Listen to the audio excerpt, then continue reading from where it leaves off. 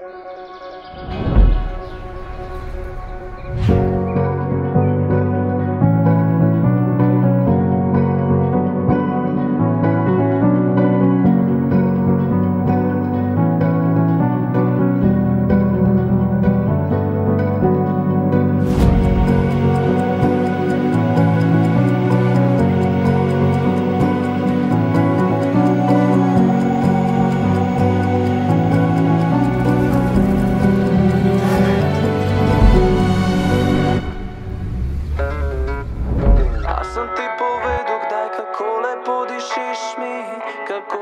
Govoriš, ko pred spanjem govoriš mi, da boš naredila vse, da ne pozabim te in da bom jutri spet zraven tebe zbudil se.